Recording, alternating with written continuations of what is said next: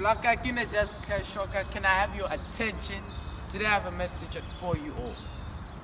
What you have that you can truly give is your attention. And this is what all these religions, TV programs, and brands are all competing for. Our attention, my attention, everybody's attention. This was Jazz Kali Shoka, Blaka,